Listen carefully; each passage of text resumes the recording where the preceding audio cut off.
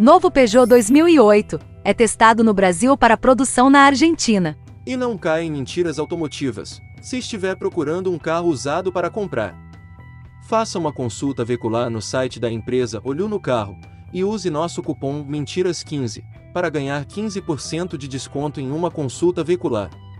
Nova geração do SUV deve usar motores turbo da Fiat e simplificações do hatch 208. Meses atrás, a imprensa argentina apurou que o novo Peugeot 2008 estava em estudos. A nova geração do SUV compacto chegou a ser descartada no passado, mas a boa fase da Peugeot na região desengavetou o projeto, com fabricação no país vizinho, que já produz o hatch 208 da mesma plataforma, o que facilita em muito o processo. Poucos meses depois, a primeira aparição do novo Peugeot 2008 a combustão indica que esse projeto está em ritmo acelerado.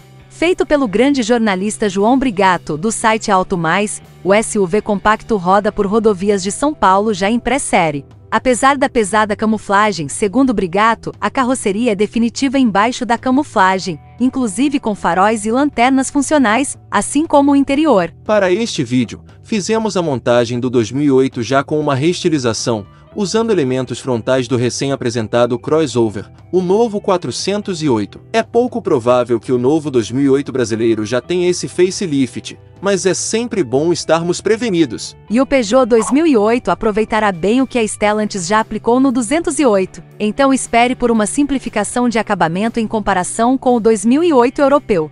Recentemente a Peugeot apresentou o E2008, importado da Europa, mas o nosso 2008 a combustão deverá usar plástico rígido em boa parte do painel, tal qual já ocorre no 208. Sob o capô, são esperados os motores Fiat Turbo, já vistos na dupla Pulse e Fastback, com unidades T200 1.0 Turbo e, com alguma sorte, o 1.3 Turbo T270. O novo 2008 é cotado para receber o motor 1.0 Turbo da Stellantis, o T200 ligado ao câmbio CVT, como já acontece no Pulse Fastback. 1.6 aspirado já é antigo, e deverá ficar restrito às versões mais caras do Citroën C3. Existe a possibilidade do 1.3 Turbo T270, para até 185 cavalos de potência, com transmissão automática de 6 velocidades, mas isso ainda é incerto pelo processo mais complexo de adaptação na plataforma. Dado este primeiro flagra, não demorará para o novo Peugeot 2008 ser realmente apresentado, no mais tardar em 2024. A marca francesa terá um SUV compacto renovado e alinhado aos concorrentes, para oferecer em seus concessionários.